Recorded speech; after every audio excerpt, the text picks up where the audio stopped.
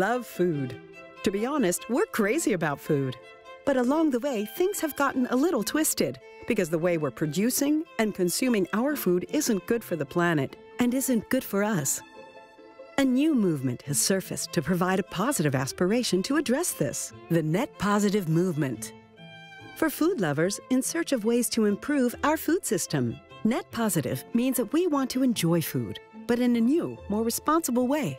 Think of it as a quest a quest towards a net positive food system where we give back more than we take to people and the planet. Along the way, we'll discover what that looks like. Through net positive dinners, we want to create a net positive system, dinner by dinner, menu by menu. Through co creation, we want to tackle the big and small challenges in our system, looking at dairy, meat, vegetables and fruit, coffee, cacao, and much more. A wide group of organizations are part of this movement, joining forces to help everyone to start eating in a more net positive way. Do you also think we need to give back more than we take to the earth and ourselves? Then join the net positive movement. Join us. Explore with us. Eat with us. Let's start a movement in search of the food of tomorrow. Let's eat the planet healthy. Join the Net Positive Movement.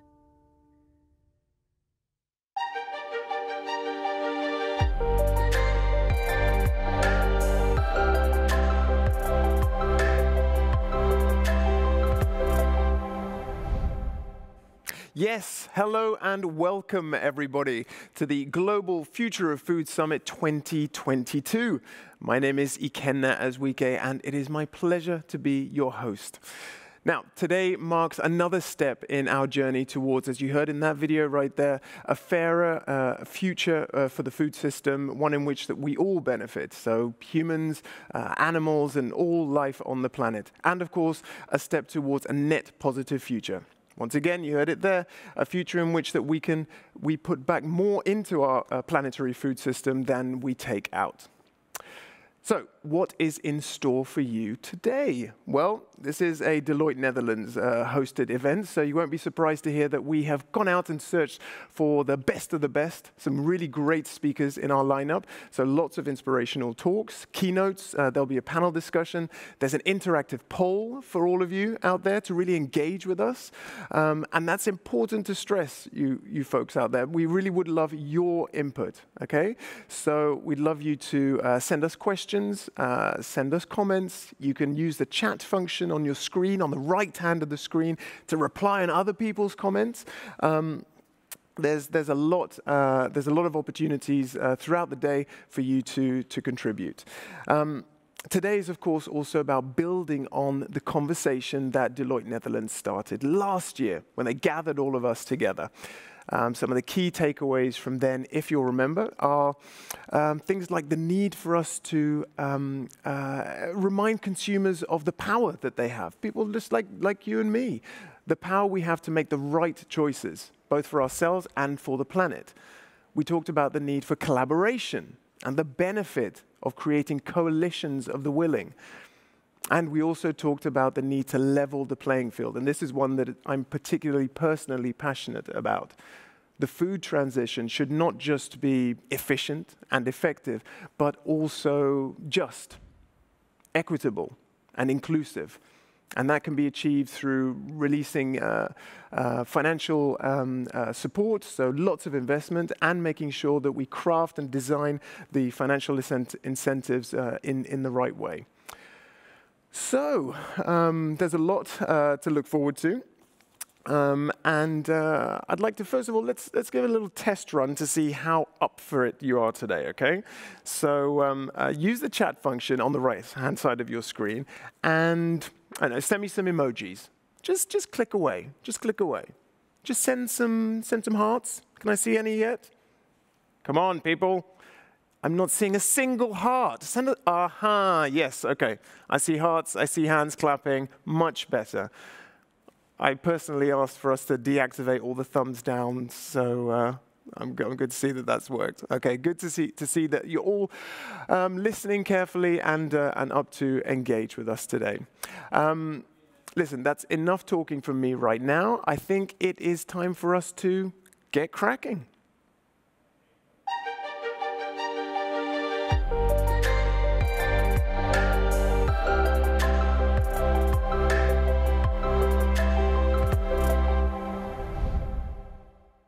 Now, our first speaker of the day. Oh, lovely. We've got a round of applause, a digital round of applause. I love that. Um, it's probably not for me, though. It's for our first speaker who was here with us last year, and she's joining us again. Um, she is the, uh, the, chairman of the, uh, chairwoman, I should say, of uh, the Global Board of Directors of Deloitte. It is Sharon Thorne. Sharon, welcome. Thank you, Ikenna. Wonderful to be here again. Yes, it is. If I'm not mistaken, okay, last year um, I saw a Liverpool shirt framed in the back. Have you seen the light and decided to take it down?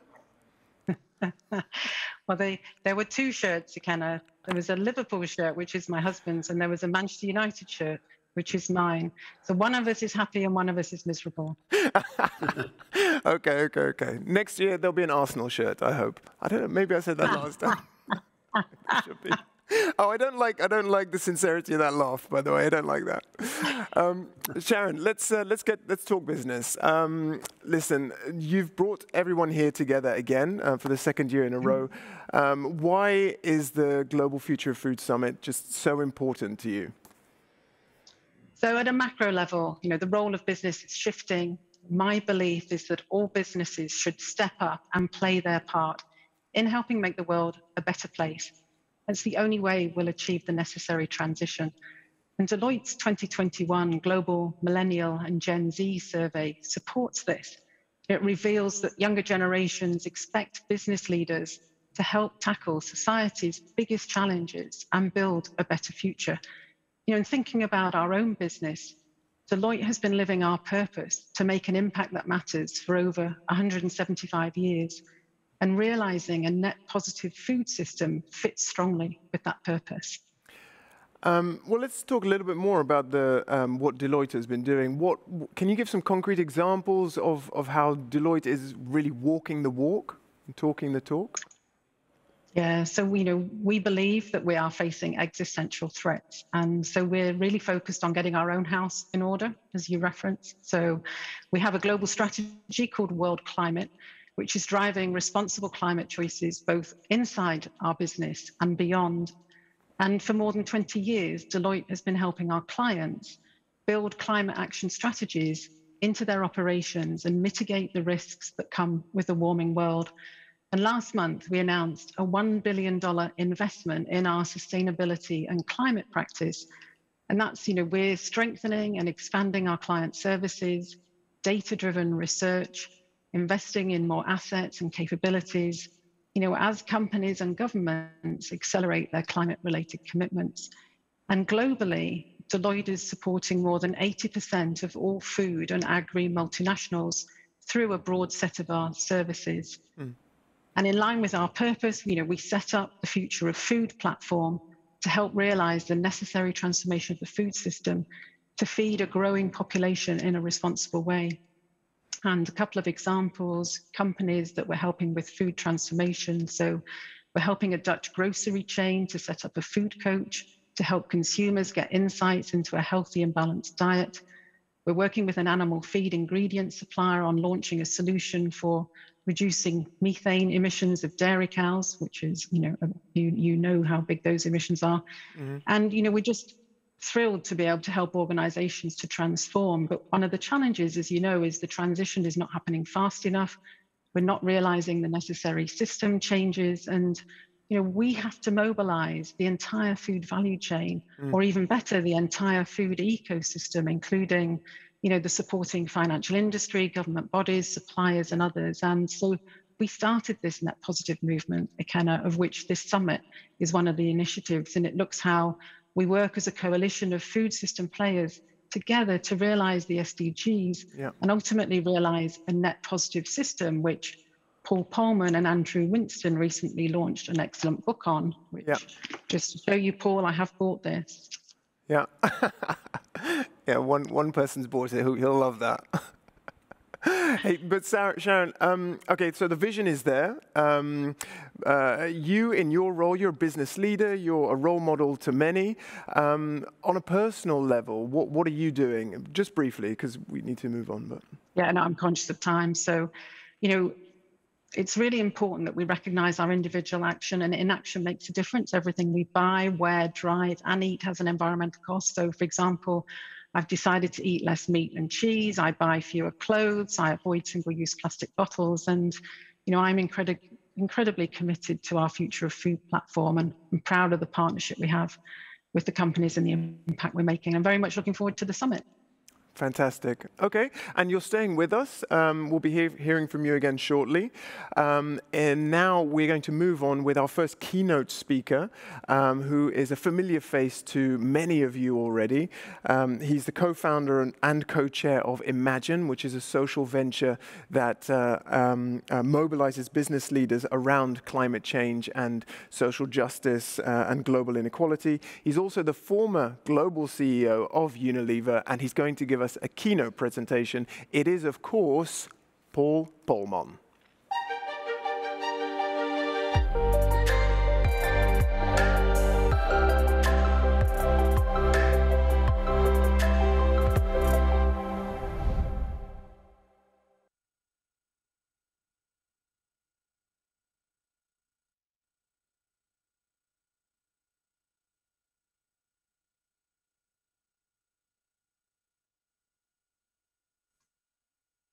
You're on mute, Paul.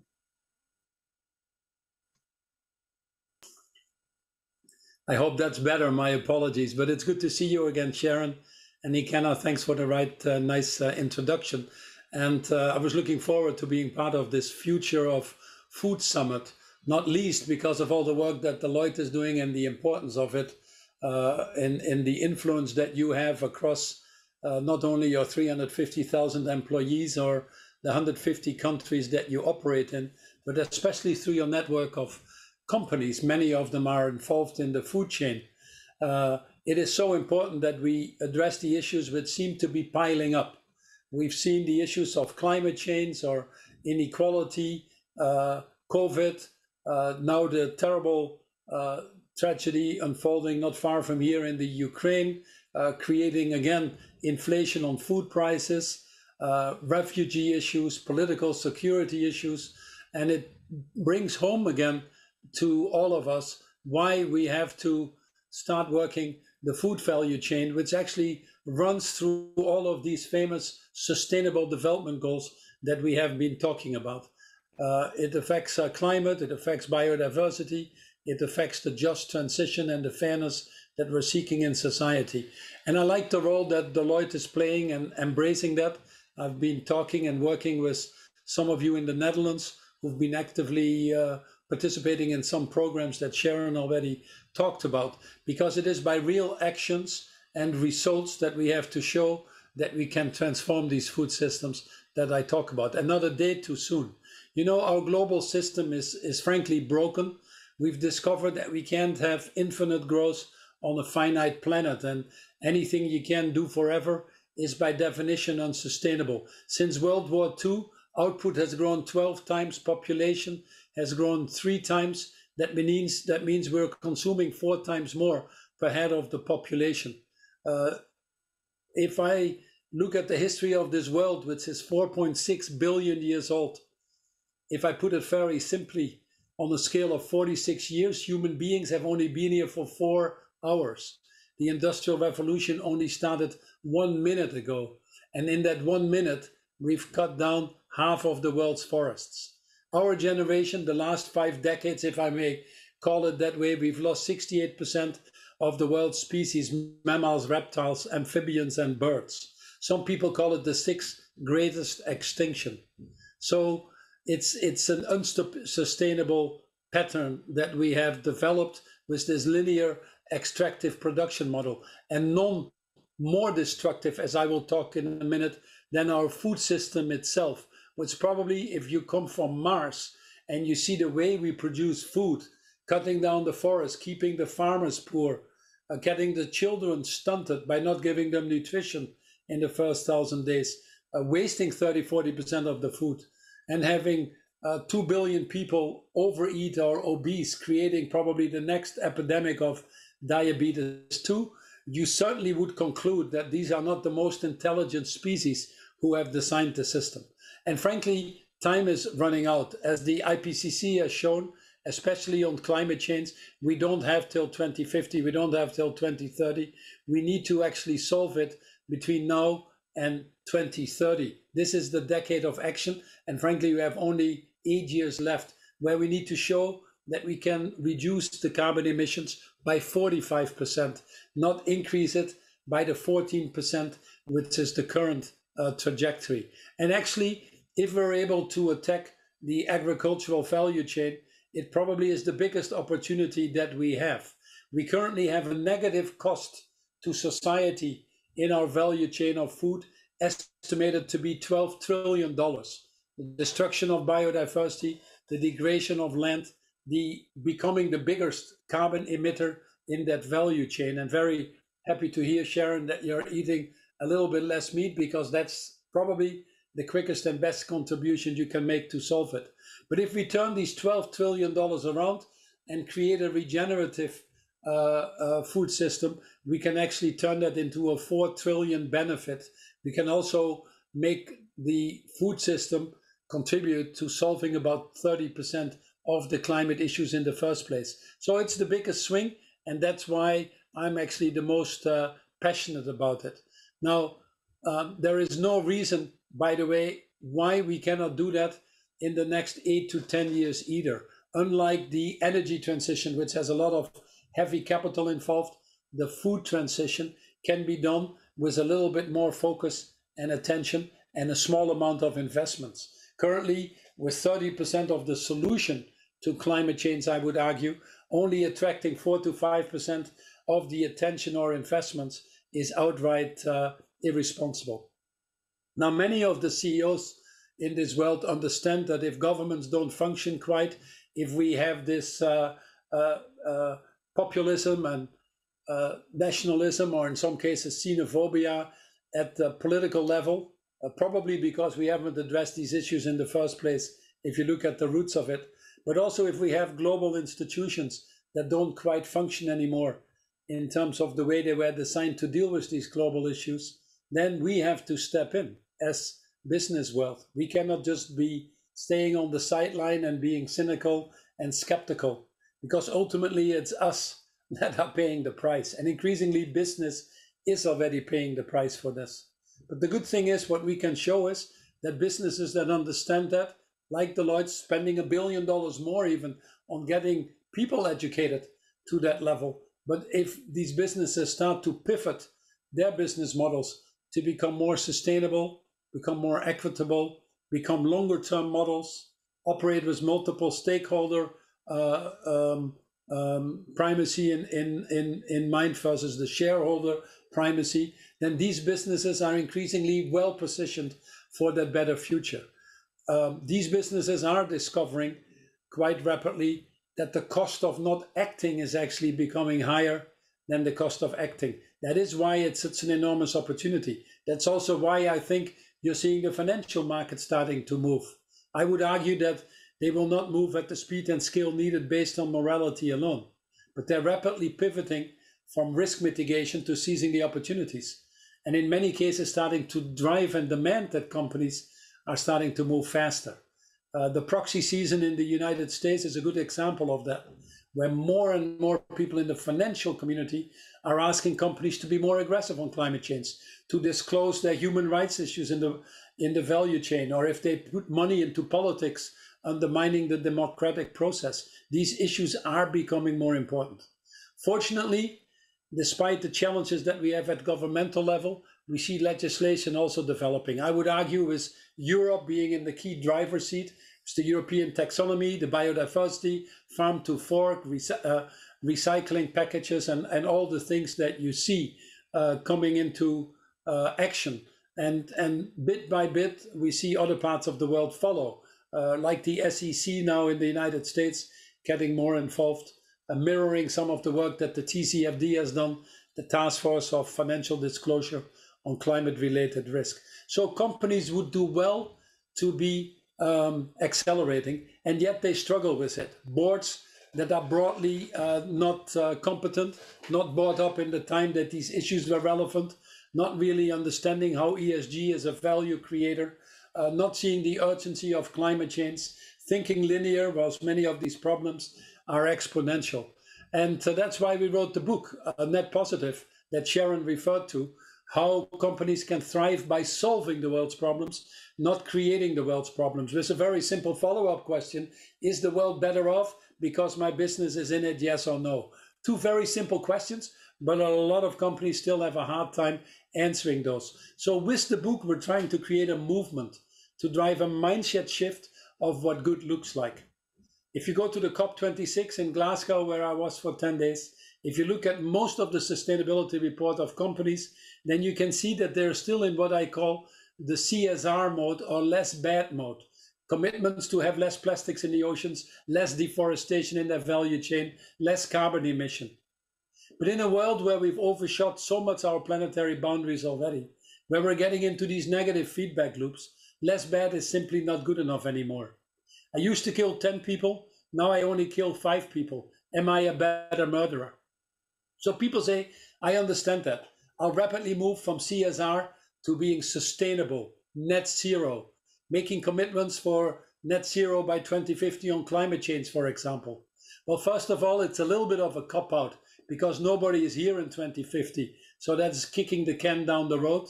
Very debatable what this net zero means. But more importantly, sustainable means I'll sustain what I have.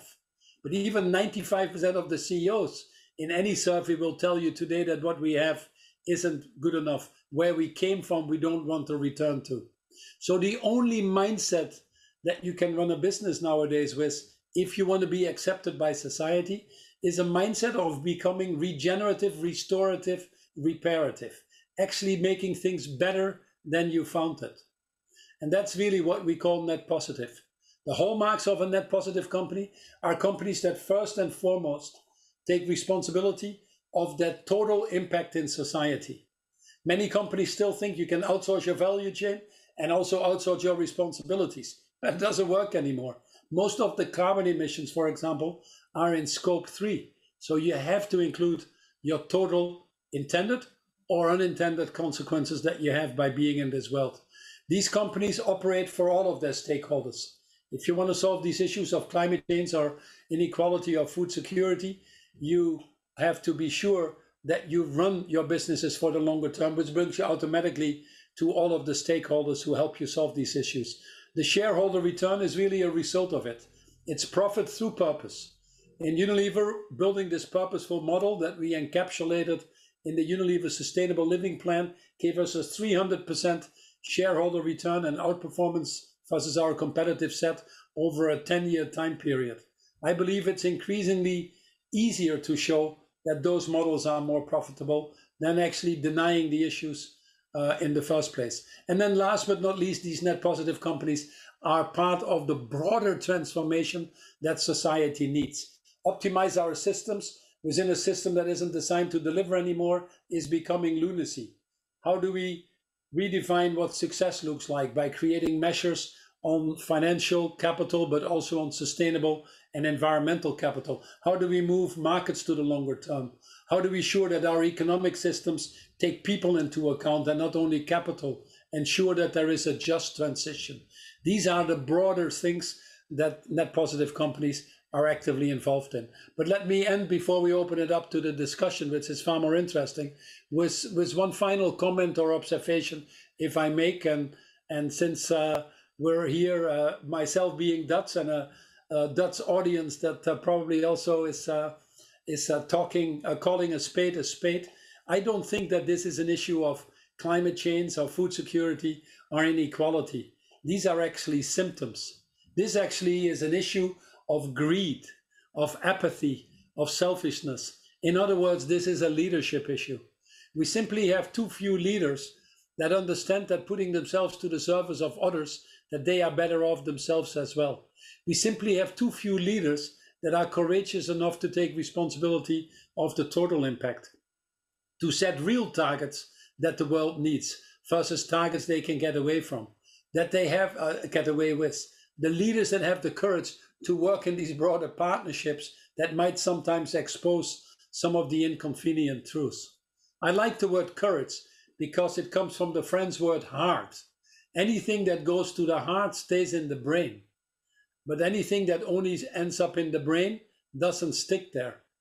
So it's a leadership crisis in the first place. And during COVID, we have seen not only a bifurcation with companies, where the companies that ran their businesses with the multi stakeholder, uh, purpose driven, longer term models with sustainability at the core of their strategies were doing better. But we've also seen a bifurcation of leadership, where leaders that showed a high sense of humanity, humility, empathy, compassion were more purpose driven embraced partnership, thought multi generational.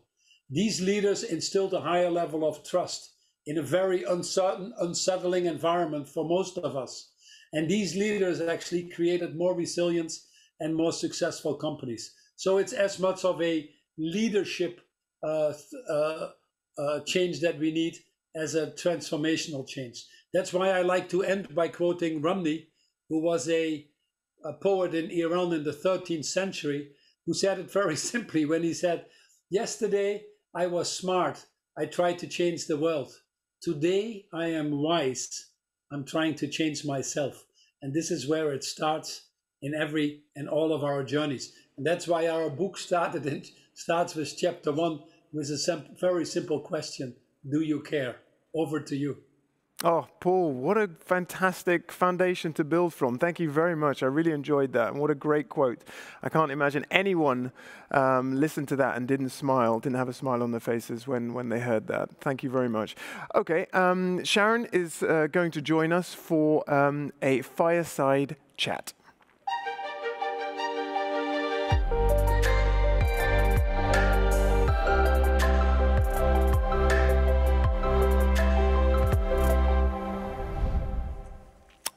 Okay, and um, before I ask my first question, I should say to all of you at home or in the office, wherever you're watching from, in the bath maybe, I don't know how comfortable you get back at home, um, we'll be getting to your questions later on, okay? So do keep them coming in and do keep that conversation going. Um, Paul, you mentioned the corona crisis very briefly. I mean, the last two years, we've seen an unprecedented uh, collaboration between governments, people, uh, NGOs to, produce uh, the, the vaccines and pull us slowly out of the crisis. Why are we? Why are food companies, stakeholders, not able to uh, to work together with the same kind of urgency to fix the food system? What are your thoughts? Well, I, I think the first thought is a, is a human thing. Is uh, we've indeed done uh, remarkably well on COVID because we were all at risk, and even the decision makers that could actually uh, uh, allocate the funds and the resources to find the vaccines were being threatened by it. I think still in many of the other issues that the world faces, food security being one of them, the people that can decide are not really affected by it. We spend a very small percent of our money on food. I think a lot of people are not really internalizing these real challenges to the extent that they need to galvanize the more courageous actions that the world requires. So, my first conclusion, very simply, is to say it needs more courage uh, and it needs more leadership to really step up and address these issues. But let me get to some of the barriers of systems change that we see here. I think the first one, to be honest, is the political side. Food is a political issue and it's entering very quickly into government spheres with policies like the European Common Agriculture Policy, but also you see how quickly company, uh, countries close borders when we have the uh, terrible issues unfolding in the Ukraine to protect their own population. It's a political cycle issue that makes it more complex. The second thing, it's very dispersed.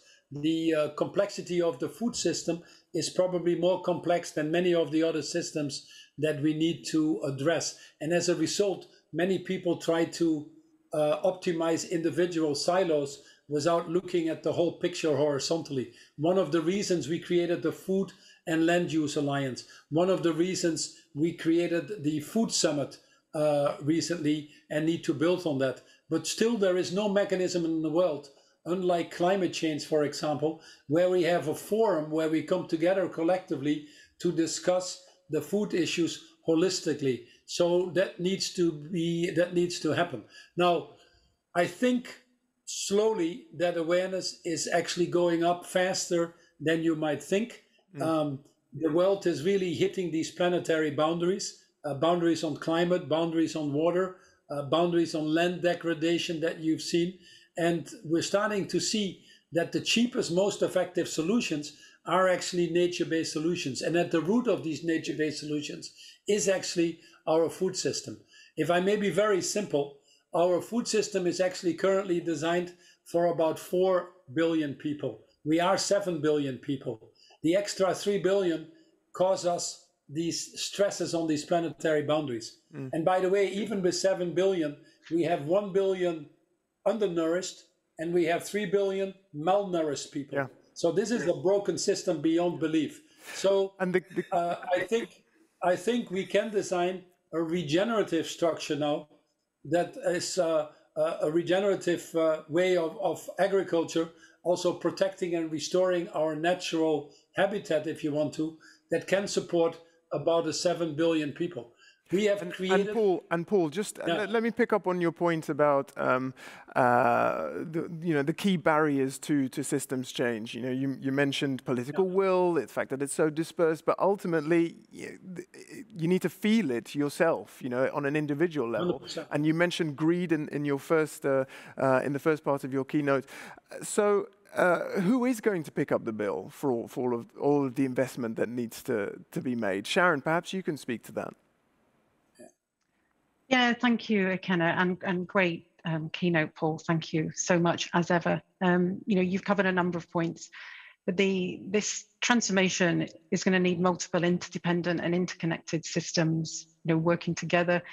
Doing nothing is going to actually cost us a lot more, Ikenna. 50% of global GDP is moderately or highly dependent on nature. As Paul's outlined, we're destroying the natural world at an incredible pace we risk, you know, where we talked about an existential threat. And there have been a lot of advances in technology and innovation. If you think about meat production, for example, you know, we're moving from pastures to 3D printers. We've got cow beef that is genetically indistinguishable from a 3D printer. It's incredible from, from cow beef, sorry. And if you could replace animal meat with synthetic meat, it would absolutely transform the $1 trillion meat market and it would reduce carbon emissions by 20 or 30%. You know, and there is a lot of um, investment that's being made, joint investments by private sector and the government. Bill Gates and the Catalyst organization work with the UK government, for example, on a 400 million pound investment. Now they're investing in green hydrogen, long-term energy storage, sustainable aviation fuel, and direct air capture you know, and becoming net positive, Paul's reference this, is a significant upside opportunity. According to the World Wildlife Foundation, nature positive business models can generate more than $10 trillion in additional opportunities each year and support 395 million jobs by 2030. So, you know, yes, we've got to have this transformation. It will be funded by a combination of businesses, investors, and governments, but we shouldn't see it as an additional cost. We should see it as an investment in our shared future. But how do we ensure that? Um, oh, Paul, you, you wanted to react to what Sharon said? No, I think if I may add to that, and Sharon puts the, the, the finger on it uh, once more, is that we are at the point really that the costs we pay of our failures, uh, we can measure that now for the first time, are actually becoming significantly higher than the benefits we can get from doing it right. And the cost of that transition in the food system is actually very low. So we need to get it higher on the global agenda, as you have uh, pointed out. We need to get science-based targets for nature. We've struggled with that a little bit, but that is important, just like we have it for climate. We need to forge these transformative partnerships. We've now brought together the uh, 40 biggest companies in food, and we're looking at whole value chain issues to move to this regenerative agriculture.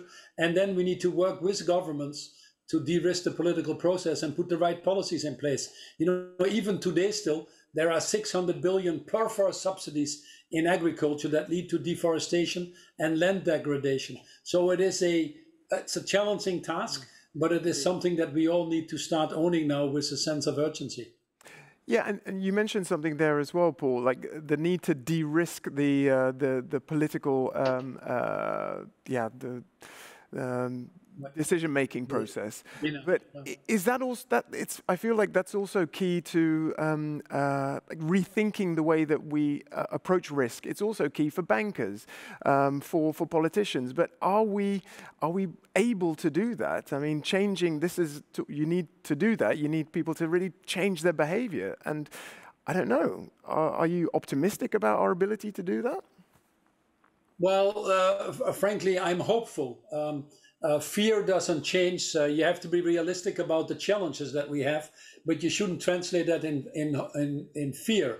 I think we're at the point that the cost of action is, as I said, uh, lower than the cost of inaction. That's one of the reasons the financial market and more and more businesses, with all the examples that Sharon gave, are moving in that direction. We always underestimate the speed of technology. Uh, we are now very close to a tipping point on mobility. We're very, we are already past the tipping point on solar and wind. We are very close to actually making regenerative agriculture cheaper and changing our food systems. So we are at tipping points. We underestimate technology. We also overestimate how much time we have, but that's for another story. So I'm optimistic about that.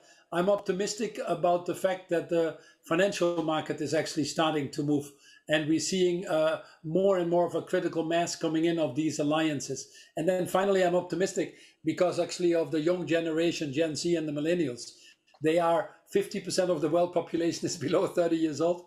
They're going to be 100% tomorrow, and they are more purpose driven. They are actually technologically savvy. They understand the power of partnership. They think multi generational. So, putting these factors together, study after study confirms now uh, whoever issues them, by the way, that we have it within our means to stay within these planetary boundaries and do that within the next 10, 15 years if we decided to do so. Yeah. Yeah, I, I think I'm, I'm, sensing, I'm feeling a lot of optimism, both uh, from you, Paul, and from your emphatic nods, uh, Sharon, as Paul is talking about, especially the, the new generation. Is that something you're seeing at Deloitte as well? Like, um, a, a new generation of, uh, uh of uh, of the Deloitte team who, who really only want to be part of Deloitte if they are taking this uh, leading role. Absolutely. I think, you know, there's a lot of stakeholder impact on companies and employees are a critical part of that. And I, I referenced our millennial and Gen Z survey already, and they want to work for purpose um, led companies who really focus on climate. It's one of their number one concerns. And 82% of the Deloitte people are millennials and Gen Z. So it's critical to them that we are stepping up and doing the right thing, which we are, but also that we're helping our clients and that we're doing all we can to help the world transform. And our people want to be part of that journey.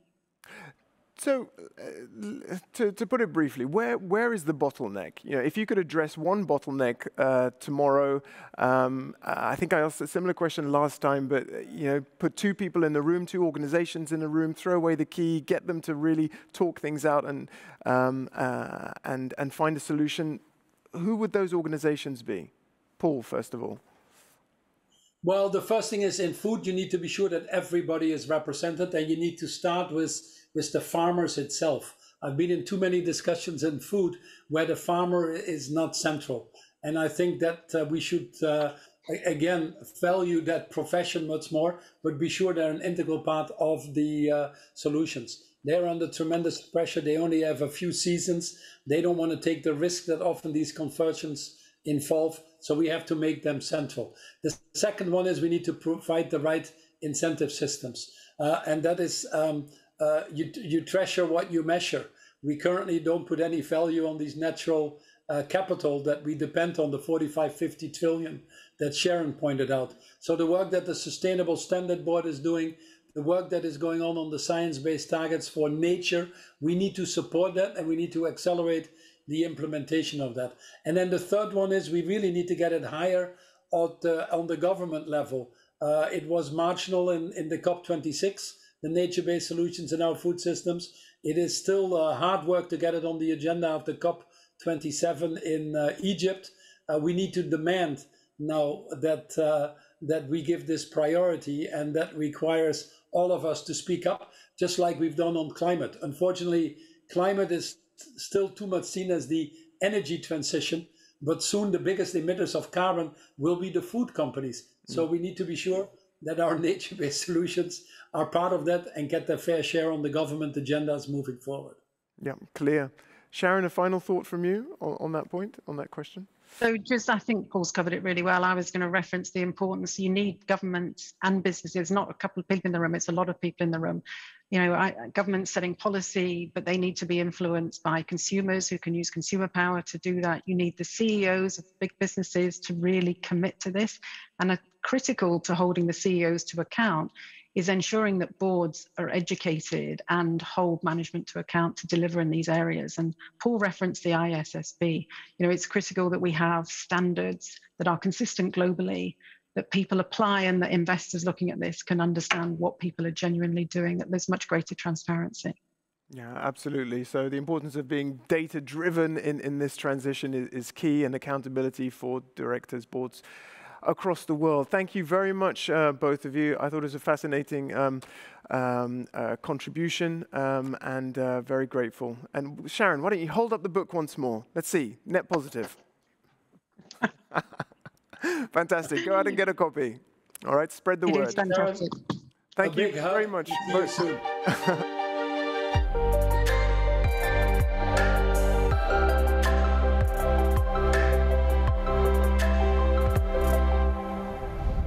see you, Paul. Take care. Right. Final little goodbye from Sharon we heard there. Very nice. Um, okay. Uh, Paul also mentioned it in, in his keynote. Um, you know, the state of the world right now is, um, is it's difficult sometimes. You know, we're seeing um, a lot of negative impact on the food system and the cost that that brings, um, not least as a result of uh, climate change and the Russian invasion of, uh, of Ukraine, um, really impacting food systems. Um, and our next speaker is someone who can elaborate on, um, on how global um, uh, developments can, can impact uh, the food system and what we can do about that. Um, he is uh, the chief global economist uh, for Deloitte, and he's a specialist in global economic issues as well as the effects of economic demographic and social trends on the global business environment. It is Ira Kalish. Ira, welcome. Okay, thank you very much. And um, what I'd like to do is take some time to talk about how some of the disruptive things going on in the global economy uh, are likely to impact um, the food market. And I think right now there are basically three disruptive factors uh, one is the war in Ukraine, obviously, which has uh, clearly disrupted the global food market, but also contributed to higher inflation and more disruption of supply chains in multiple industries. The second is the lockdowns in China right now, which are disrupting global supply chains, but also slowing Chinese demand and putting downward pressure on global commodity prices. And the third is the fact that with very high inflation in much of the world. Uh, major central banks, especially the U.S. Federal Reserve, are tightening monetary policy to fight that inflation, uh, but that could lead to a recession down the road. So let's talk about each of those. Um, let's see, here we go. Okay, there we are. So what you see here uh, is what's happened to oil prices lately. Um, and oil prices had already been rising prior to the war, uh, but then suddenly surged when the war began uh, because we saw a cutoff in uh, Russian exports of oil. We saw sanctions. We saw trading companies unwilling to engage with their Russian counterparts. Uh, and we saw fear uh, that the war could disrupt uh, transportation of oil. So oil went up quite a bit, contributed to an acceleration of global inflation. However, oil has come down lately uh, because of the slowdown of the Chinese economy. This is very impactful. Um, and depending on what happens with the war and with China, uh, that will have an effect on what happens with oil, with overall inflation, and with the cost of producing food. But if you look at the next chart, there we go. Uh, this shows what's happened with inflation uh, even before the war began. This is inflation in the US, Japan, and uh, the Eurozone and the UK.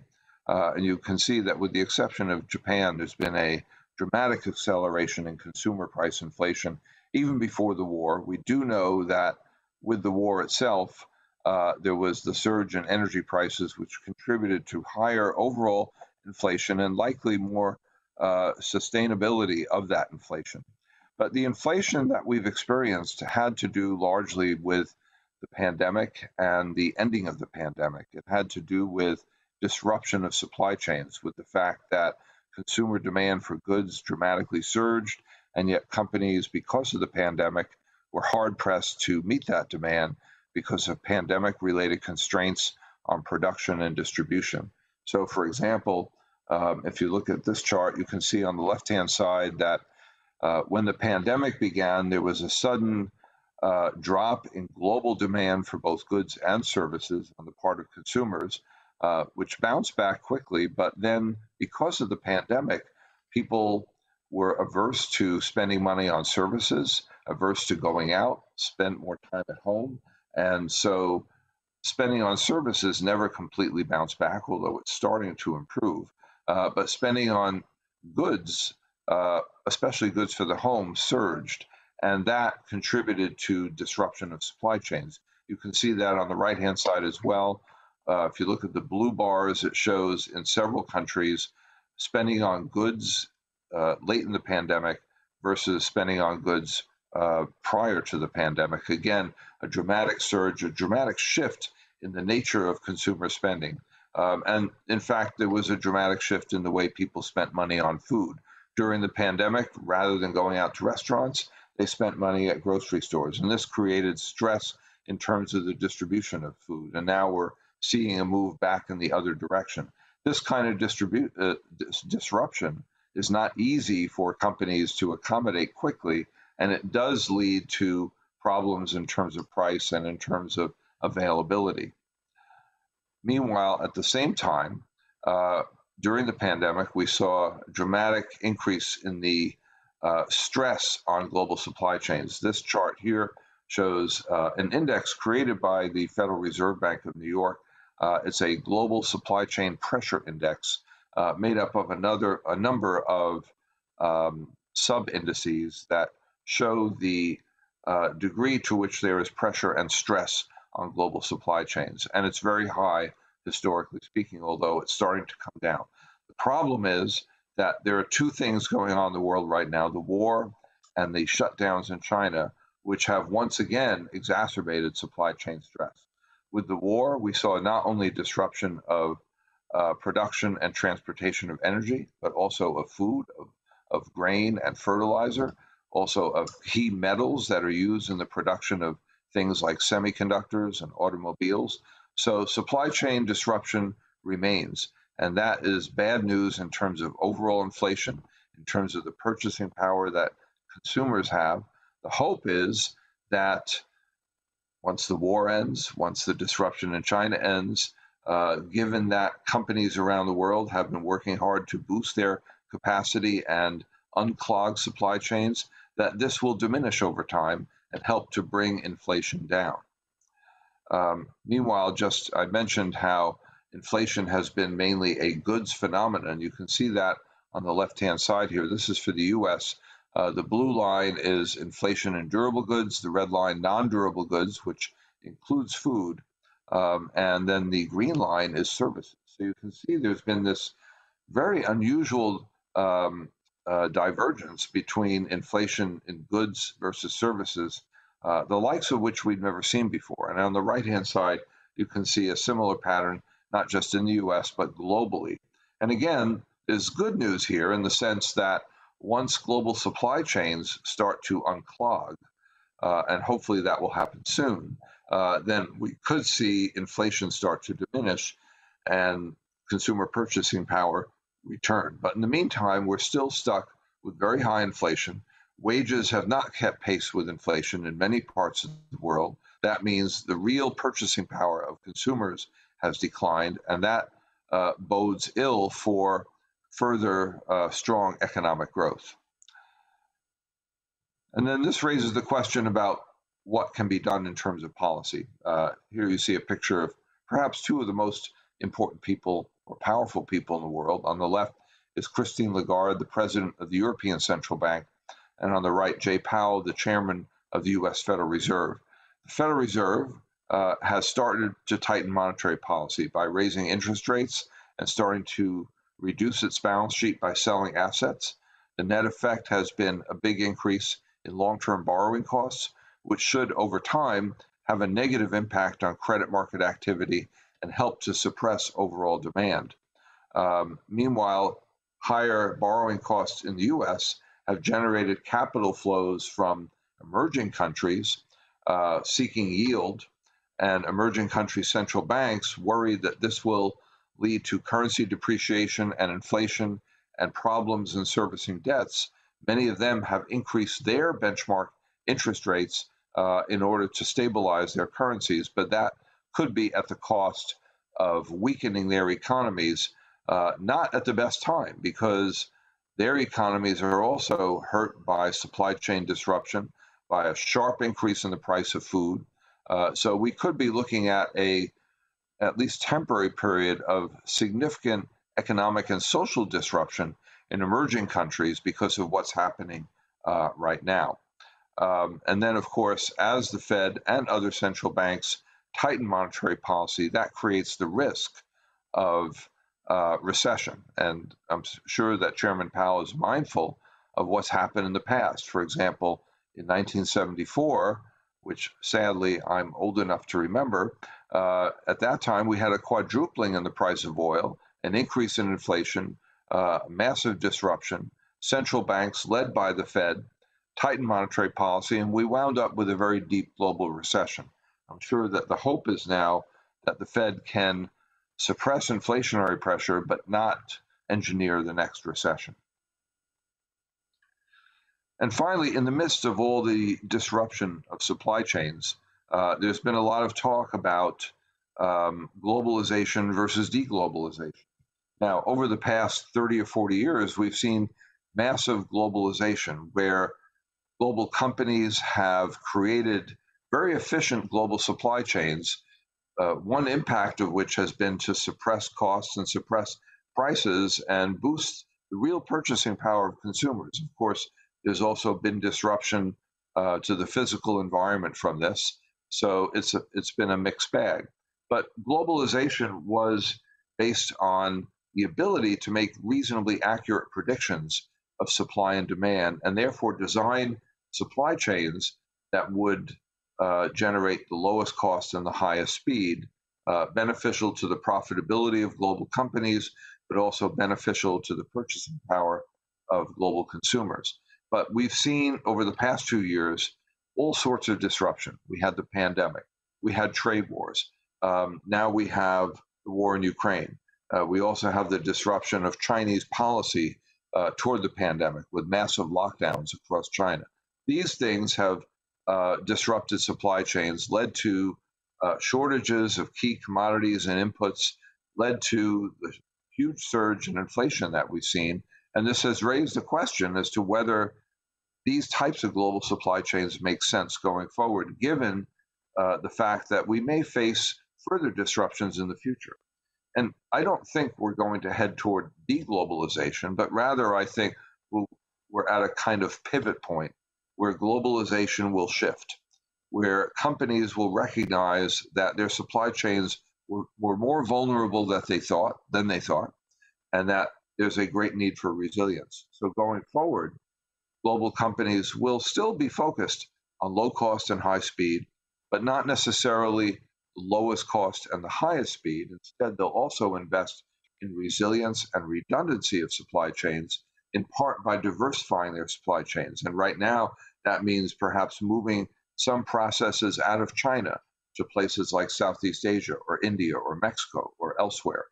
Uh, and as that takes place, that may increase costs somewhat, but it may also lead to more supply chain work being done in countries that have lower labor costs than China, and that generates stronger economic growth in some of those countries as well. What does this mean for the global food market? It also means um, that the global food distribution pipeline uh, could be become more focused on resilience and redundancy especially in light of what's happened in Ukraine and how that has disrupted uh, the global food market. So, um, those are my thoughts on the global economy, uh, and I'm happy to take questions if there's time. There is time. Thank you very much, Ira. Um, hearing a little bit of feedback, but I hope uh, audio is okay for all of you at home. Um, okay, before I go to the iPad, I've got a question in, uh, an interesting question from the audience. Um, a question uh, from me, Ira, is, uh, I mean, while you were describing this, uh, the likely shift uh, uh, in globalization um, to uh, a lower, slightly lower cost, um, slightly less high speed, it did make me think of what Paul Paul was saying about um, the need or companies being embracing being slightly less bad. So. I, I mean, how optimistic are you about the ability for us to transition towards a net positive um, food system? Well, I think that, um, I, I mean, there are both positive and negative things going on here. On the one hand, the disruption of global energy markets by the war in Ukraine has led European countries to boost their investment in carbon based fuels, which doesn't really uh, do anything to address the longer term climate problem. Uh, but that's more a political issue and one of reducing dependence on Russia. On the other hand, I think that the, the crisis, uh, as well as the pandemic, is likely to lead to an acceleration of investment in clean energy, and that would be good for the net positive future. Uh, we have seen um, a change in behavior as a result of the pandemic, with more people working and shopping from home. That means less transportation and less demand for carbon based fuels. We have seen an acceleration in investment in electric vehicles. And as Paul alluded to, the private sector, the financial sector, has acted. Uh, we've seen, and it's been to some extent a surprise to me, banks, insurance companies, and asset management companies increasingly allocate portfolios and price risk in part on the basis of climate considerations. And as they do that, that compels non financial companies, especially in the food and agriculture industries, to work accordingly uh, in ways that will um, hopefully be helpful to the climate um, and reduce the dependence on carbon based fuels. Okay, great. Thank you very much. Some concrete examples there of things that we can be positive about, optimistic about. This question has come in from Melanie Ira. Um, she says the negative consequences of inflation and disruption are evident. But can this, in a way, also create the perfect momentum to change the food system for the better? What are the key considerations? Well, as an economist, I recognize that uh, pricing has a big impact on the behavior of consumers. So if you have a big increase uh, in energy prices, that ultimately leads to more conservation of energy. We know that from, again, what happened in the 1970s when oil prices first quadrupled in 1974 and then doubled again in 1979. Since then, the amount of energy we use per dollar of GDP has dropped dramatically, and especially the amount of oil and gas that we use. So we did become, over the last 50 years, far more efficient uh, and um, less energy intensive than we used to be because of pricing.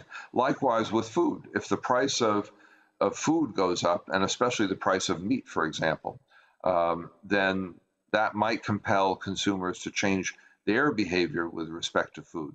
There was a lot of talk earlier about the number of people who are malnourished or, or, or, or or very hungry. Um, we, I didn't hear much talk about obesity. And mm. part of the problem, and there's a, a large number of people who are obese in the world, part of the problem is that food became perhaps too cheap so that people could go to fast food restaurants and, and buy unnutritious foods, eat too much of them.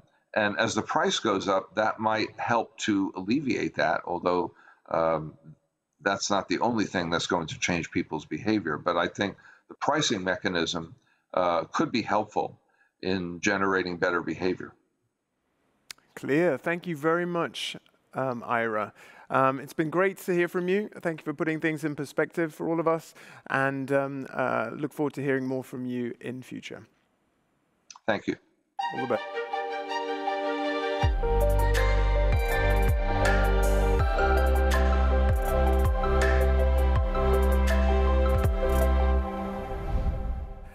Okay, this summit, as you know, is all about action and impact. So it's time now to hear from some people who embrace both, both of those things. Um, and we'll be hearing from them in the form of a panel, which will be moderated not by me, sad faces, sad faces, or happy? I don't know. It's not going to be moderated by me. It's going to be moderated by the uh, team lead of the Future of Food team at Deloitte. Um, and that is a man who is uh, currently standing in a digital cornfield, I believe. Randy Jagt. Randy, can you hear me? Hi, Kenna. Great to see you. I'm here. This is perfect to talk about food and all the challenges. Being here in a field of corn, this is where it's happening. So looking forward to uh, work with the panel on this. Wonderful. And uh, tell me, Randy, uh, what would make the panel that you're moderating a success in your eyes? I think from my perspective, what I really would like to yeah, engage the panel on, so what does it take? What does it truly take to realize a net positive food system? So I'd love to engage with the panel on that. Okay, good to hear. Well, before um, I give you the stage and uh, allow you to introduce, allow you, shouldn't say allow you, this is your gig. Um, before you introduce uh, your panelists, uh, I have something for all of you at home. Um, we have a poll. Um, so uh, the question should have popped up on your screens right now. Um, creating a net positive food system is not easy. Um, what is the elephant in the room? What is the biggest roadblock to making a positive impact? There are some options there on your screen. Have a quick read, consider them, bear in mind what some of our speakers have already said, and let us know your answer, and uh, I will come back with those answers um, later on um, in the show. So, on that note, it is back to you, Randy.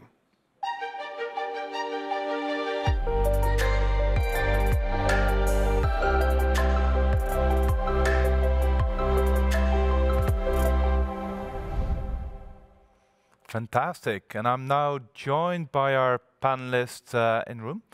And yeah, really looking forward to discuss on yeah, what's the experience, what's happening in the food system, how can we truly change it and make it a net positive uh, system. But first of all, let me start with introducing our panelists. Uh, I'm very happy to be joined by Ezgi Bárcenas, the uh, Global Chief Sustainability Officer at AB InBev, also Bas Ruter, the Global Head Food System Transition at Rabobank, but also Peter Boterman, the Corporate Director Global Sustainability at FrieslandCampina. And finally, uh, Dr. Garmt uh, Dijksterhuis. He's the perception psychologist specialized in food perception and behavior at Wageningen University and Research. Welcome everybody to this panel and to the table to discuss yeah, a net positive food system. Maybe to kick off the questions, let me start with the first one. So, as we all know, and what we also see with companies like yourself, a lot of companies have set targets for how to become carbon net zero in 2030 and 2050. Could you maybe highlight some of the initiatives you've already taken and kind of what works, what doesn't work with these initiatives? Maybe, Ezgi, if you can go first and talk about what's happening at AB InBev. Sure. Thank you. Thanks, Andy, for having me today. Um, so at AB InBev, we have operations across nearly 50 countries around the world. We see the far-reaching implications of climate change across our entire value chain, uh, specifically within our agricultural communities. But we also see the opportunity uh, for innovation. Um, so taking a step back, we have a 2040 net zero ambition across the whole value chain. We also have short-term science-based targets. So, you know, your question around what is key to success, what worked, what didn't work, you know, in the last four years, we've reduced our operational emissions, so that's scopes one and two, by nearly four, uh, 30%. Uh, we've also reduced our value chain emissions, that's scopes one, two, three, uh, by almost 14%. So you see that the value chain emissions, when the, the scope three gets uh, into the, um, uh, the formula, that number goes down. So we have a lot more work to do across our value chain. So what worked? I think what was really, really powerful for us as a business was how we co-designed our vision and public commitments together with our operations and sourcing teams.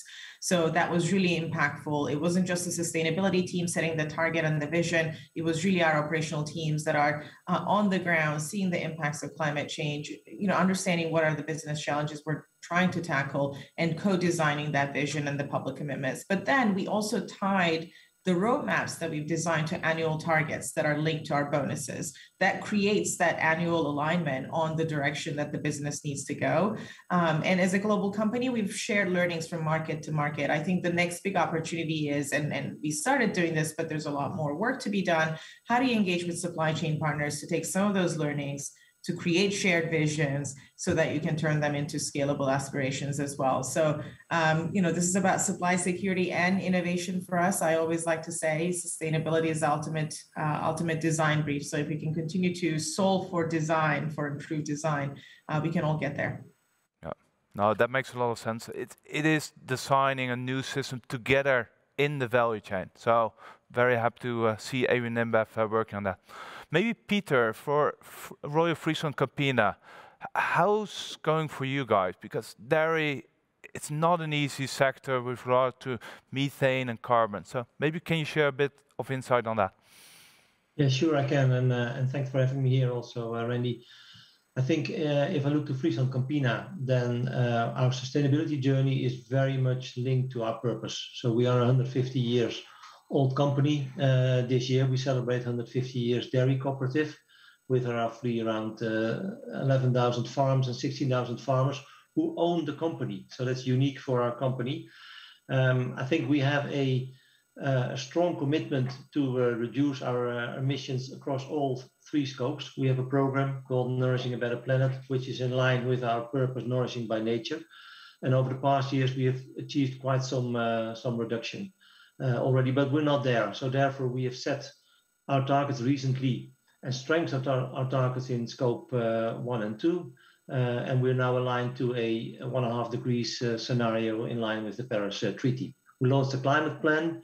We, as some of you might know, we're one of the companies, the 29 companies who was always also requested by Milieudefensie, uh, Friends of the Earth in the Netherlands or in English, uh, to submit their climate plan we did that. We uh, we be very open to that, uh, and we've um, um, we've basically strengthened that towards a one and a half degree scenario. On your question on on what is key to success, I think Paul made a very important uh, Paul Polman made a very important remark, which is it starts with the farmers because at the farm the biggest part of our emission is at the farm.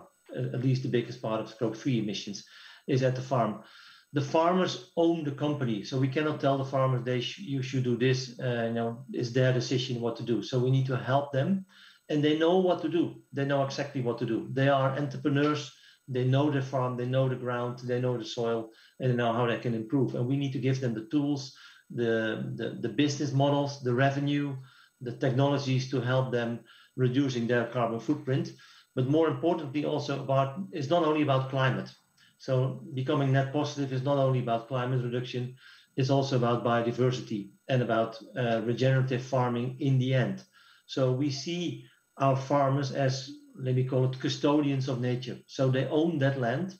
And, and just for you as a reference, 20% of the Dutch uh, surface is probably owned by Friesland Campina farmers. So they have the solution in their hands to restore biodiversity on the land and to build regenerative food systems.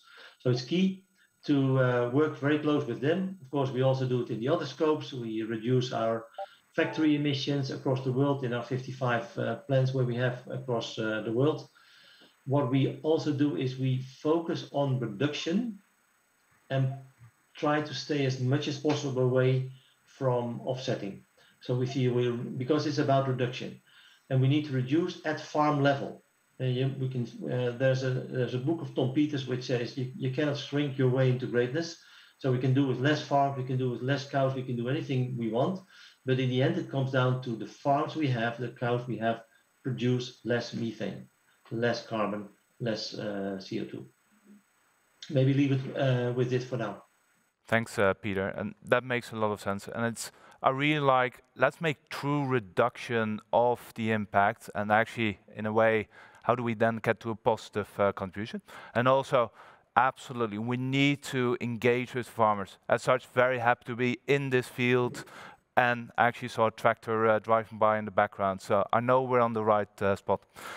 But just to reflect also, it is a broader system. And let's also, to some extent, yeah, address one of the elephants in the room. It's also a consumer mindset. It is truly we need to, besides the farmers, also reach out and engage with the consumers. Maybe, maybe Garmt, what's your perspective on that? Because if we truly want the system change, how do we engage and get the consumers also change their mindset? Yes, consumers, of course, are central to this issue. Um, um, with consumers, it is, it is that they buy what they can buy. It is available or not, and they should be able to, to spend their money on, on products we want them to buy. And there will always be choice. We cannot regulate the market strictly. That's never going to happen. We're not going to have effect on the price. You cannot just, um, like in a dictatorship, say it should cost like that and not more. That's not possible. So the consumers will also have, always have a big choice of products, but they have to buy the products that are sustainable. Um, and I have a list of several things. Um, I will briefly uh, mention four. Um, consumers are not one group. There several different segments of consumers, so you cannot speak about the consumer. You may want to, uh, you may need to address several segments differently. And one special segment I want to uh, to highlight: these are the poor consumers. There are a lot of people poor. If you, if you look globally, a lot of consumers may not care about agriculture they don't care about, uh, they may not even care about food. They're happy they have it at some point. And that group needs to be addressed as well and studied. And that brings us to the second point, which is um, the uh, consumers, they have uh, a choice of food. They have products, they have technologies they, that they get information from, and they have information on food and on products. Um, so it's not a product as such, not a technology as such, it's the information they get from the products and the technology, and that may help them buy uh, or help them choose sustainable food. So the psychology of consumers, um, of uh, getting the information, turning the information they get into their into behavior of buying the stuff. Uh, I think they lack knowledge of that uh, that specific psychology of consumers. Um, consumers um, uh, of food uh, are different. It's not uh, you're not buying a, a, pen or a car or a book. Food is so different. So the psychology of food is different, and that links to the first point because the poor people, and there are too many of them, and they have a big impact on the planet. Um, if they would choose differently, um, they may have even a different psychology. So that's the interplay of these two points. So the third point is there are many technological solutions. I think we are very good in technology. I think if we think up a technological technological solution, we can do it. But then the next point is it needs to be societally embedded. It needs to be accepted by a food system, and ultimately it needs to be accepted by consumers. And that brings us to the fourth, to my fourth point. Um, we are sitting here, we're all rich and wealthy. Uh, and that, that, that, that links to the first point. Um, and we may like to have um, naturally produced, green sort of uh, farm ideas about our food. Uh, but we need industrial production. If you want to feed the whole planet, you cannot do without. So you need industry. That means you, you have choice. That means consumers can always choose. And then you want to have an impact on that choice, which needs to have more, which, which needs you, makes you need to have more knowledge on the psychology of, of, of consumers. Um, well, those are my four four points. I have a longer list, but let's uh, let's stick to these points uh, for these points for now. No, and I can fully appreciate that, uh, Garmt. I think uh, really understanding consumer mindset and psychology to change consumer behavior, I think, yeah, definitely deserves a professor kind of yeah approach, etc. So let's not grasp the full extent. I think we'll we can spend an entire summit uh, on it. But maybe yeah, moving on. So so Bas, yeah, as Rabobank, you're serving both consumers as well as companies. What's your perspective on this system change and both towards farmers but also towards consumers? How do we realize this change? I think focusing on the role of the consumers, it's really important to understand that, um, as Harm also said, but but it's it's truly important. The physical availability of the right food is a precondition. So, both from a perspective of whether the right food is available in your neighborhood. In some parts of the world, it's almost impossible if you're in a in a poor environment to actually physically buy healthy food or uh, organically grown food in your neighborhood. I think that's an important topic. In addition to that, having the physical availability uh, is also combined, especially in retail, with the availability in marketing material. So, what is the way the retailer is actually promoting its uh, goods uh, among consumers? So, the role of retail is important, both physically and in how they advertise and how they promote food. Much food that is being promoted today isn't even part of a healthy diet. So, that is definitely an important precondition. Secondly, enhancing availability of the what do I buy question is important. So, are there certificates? Is there eco labeling available? We are in the starting phase of a better availability of that and also enforced by uh, by law so that we really know what we buy. And then lastly, it should be the case that the true price of the product is paid. So if something is produced more sustainable, it shouldn't be more expensive. And uh, that is something where a lot still needs to happen. Just to give you the example of uh, the climate change uh, agenda, uh, agriculture is not yet part of the emission trade system. So as a result, there is no price for climate impact in your product today. Food is different than just energy, so you need to find a different solution. But pricing in externalities, pricing in the footprint of your product would definitely help consumers to make the right choice. So, of course, we need to look at the at the price side, as Harm said, but in relative terms, it should pay to buy the right stuff, and it should also pay to produce sustainably, as Peter described on the Friesland Campina example.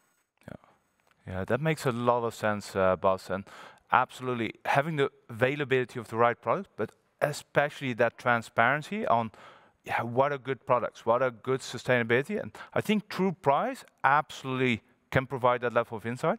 Very interestingly, we actually launched our True Price Coffee Cafe in our office, and apparently, if you take all the effects of the environment and the society into account, your regular cappuccino uh, should actually be 80 cents more expensive.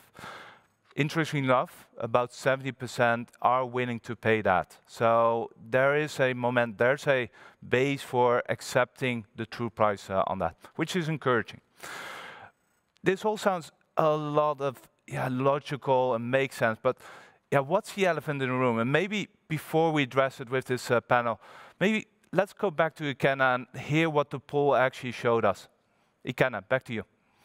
Thanks very much, Randy. Uh, and by the way, I'm pleased to hear it was only 80 cents more uh, expensive. I thought you were going to say 80 euros, which would have made me really think twice, but please, it was only 80 cents. Um, yes, we do have uh, the results of, uh, uh, of the poll. Um, and let's remind ourselves of the question, creating a net positive food system is not easy. What's the elephant in the room? What is the biggest roadblock to making a positive impact? Um, yeah, the most, the, the highest is people think it is courage to change. Yeah, uh, Paul mentioned it um, uh, very clearly, and then consumer behavior and the revenue model. We needed the right revenue model, followed by ecosystem collaboration and transparency, and inequality and imbalance. Hmm. I wonder what um, um, what your take is on that, Paul, and uh, perhaps we can also hear from your panelists. Absolutely. Now let's let's further discuss. Peter, what's your uh, perspective on uh, this? Did you do you recognize this, or you've got a different? Yeah, I, I recognize it, uh, Randy, very much, and and I would say also the, the courage to make changes and the courage to look beyond your own company and and to look fully integrated in the system, and also put your interest probably in in in need of the broader picture. That's for me key. And if I would look, uh, how how would you translate that more? Uh, practically, I would say partnerships. You know, work in partnerships, work end to end, uh, and see if you can find others with a common interest who have the same courage. Um, um, I I come from a company which is basically a company linked to uh, to the company of uh, as in terms of the founders and uh, and one of the chairman there said is is work on the ideas and the money will take care of itself. And I think that's something we need to do as a group and we have some practices here. I think Bas maybe can allude to that also. We've done some work together uh, with Rabobank to develop biodiversity monitor to give farmers insight in how they can improve We did that on climate. We work with a company like AgriFirm on deforestation-free soy. So all initiative throughout the full dairy or full value chain. That's the key thing. So courage and collaboration. Ezgi, what are your number one or number two? Yeah, I, I definitely agree with the courage, but I think um, as you're looking to create, you know, transformation at scale, um, and and looking to build a net positive future, and you're working with generational farmers, uh, it, there may be a very clear value, but it may not be uh, always visible. Uh, so how do you make sure that you demonstrate that clear benefit in their profitability? I think is the biggest question that, that we're looking to tackle. So I would go with revenue model. Uh, so I think that that was a, a, close second in the polls. I think this will really speed up the transition. I see this as a, as a key enabler uh, to, to spark that behavioral change that we talked about for the consumers. You need something similar for the farmers as well you know, at ABI, we're, we're doing this in a couple different ways. Um, in France, for example, we're paying farmers for emissions reduction, so um, trying to better understand in setting and the uh, and the behavioral change needed there. Versus in Argentina, we're incentivizing farmers to change practices. Uh, of course, uh, you know, the, the, the, assumption going in is that we would expect to get similar outcomes from both, but it's an opportunity for us to test and learn. You know, for one, you're paying for the outcome, whereas for the other, you're paying for the practice. So again, this is something that we're really trying to figure out. How do you change generational practices within these farmers for the ultimate outcome? And how do you um, you know influence the influencer right? Train the trainers an approach that many companies do. And i think in these agricultural communities you need to find the right partners once you go in so that they can have that courage they can have that initial initiative to take on something new to try something new. Like that as well. So work with farms to really trigger them to adopt new practices and more responsible positive practices. Maybe yeah Garmt what's yeah, what's your number one and number two to what's in terms of the elephant, what needs to change? what needs to change? Um, I think, well, as, I, can only repeat what I said. Um, I really think we do not understand consumption in that much detail. Um, with uh, marketing is very effective uh, uh, science and trade, um, but just putting out information and advertisement and everything on food is not going to change the world. We really have to dig into um, the, the, the, change needed into the psychology of the consumer. Uh, choice models may not work for food. I'm, I mean, I'm really, I know I'm repeating myself, but that's that's for me the big elephant. And the other one is um, we here, and also the uh, the responsible people are also consumers. Um, and sometimes they may be consumers of uh, revenues of the trade they're in. And that uh, may also um, cause a, a, dilemma for a lot of a lot of people involved. Uh, and that brings us to politics, of course, with, with, with a, a, very short-sighted vision uh, generally. We need a long-term vision for, for, for change. Yeah, no, fully clear. Maybe move to the last uh, question, and Paul already mentioned it uh, earlier.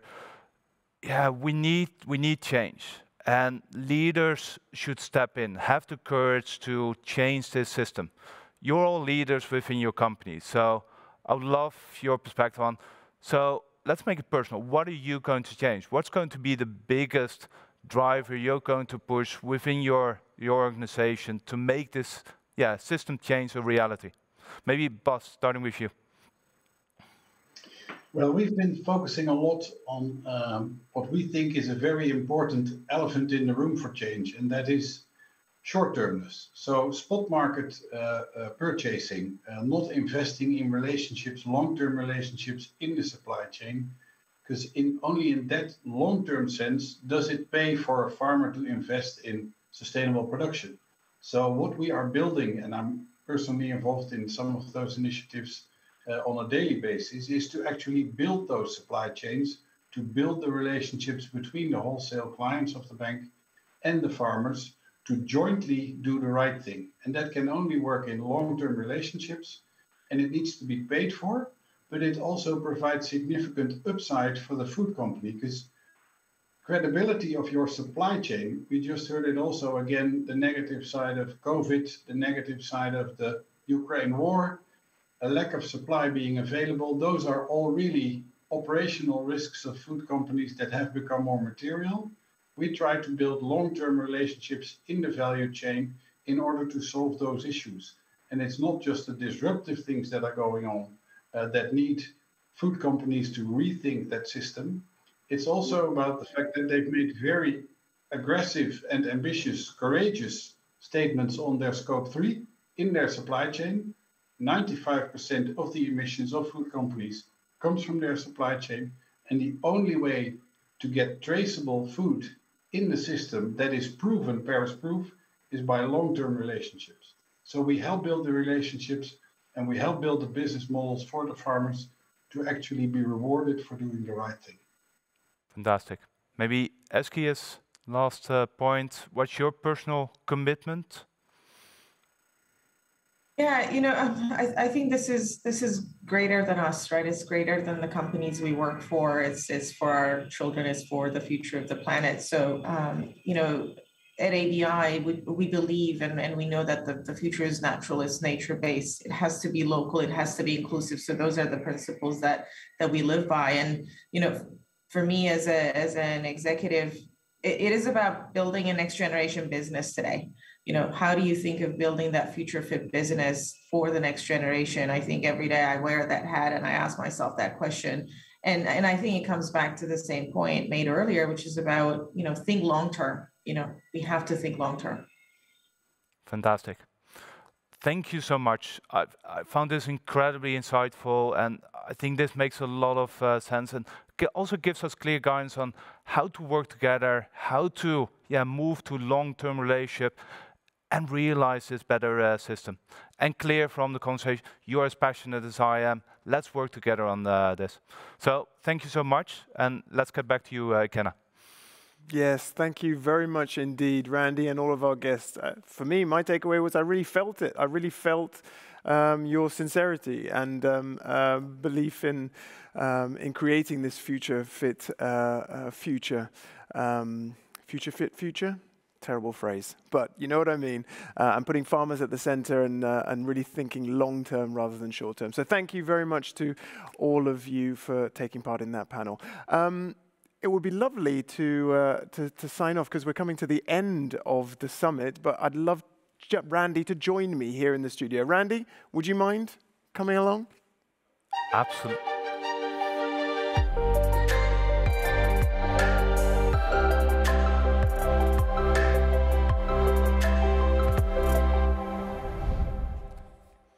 Now, what a quick, uh, quick trip that you made from the digital cornfields to right here in, uh, in this cozy, huge amphitheater of a studio. Um, thanks very much for joining me, Randy. What did you think about the panel discussion? Did it live up to your expectations? Absolutely, and fantastic to be here in this fantastic room and join all the participants uh, here. Now, definitely, I think the panel, the entire uh, summit uh, session that we had, very inspirational. And I think a lot of great quotes to, to carry forward and, and, and, take with us. I think Paul Polmans clearly stated, yeah, we need to act now. There's no, yeah, it's a finite uh, system. We need to change, but there's a business case for it. We can realize $4 trillion business mm. by doing the right uh, thing, but it takes courage to make that uh, happen. Also great to hear uh, Arjo Kalish. These disruptions uh, hopefully there's a new dawn behind it, but let's grab the opportunity of these disruptions to actually create a design a better system, and it will help us in that uh, sense. And then three, the panelists, yeah, fantastic to, to hear the impact that they're all already making, but also some of the success factors. We need collaboration. We need transparency. So let's make that a reality. So yeah, very happy, very impressed with yeah, all the speakers that we had uh, today. Indeed. Thank you very much. And on that note, Randy, uh, I think we're going to bring the summit to a close. Thank you uh, to you for moderating the panel and initiating this entire event. Thank you to you at home for uh, your contributions and to all of our keynote speakers and, and panelists.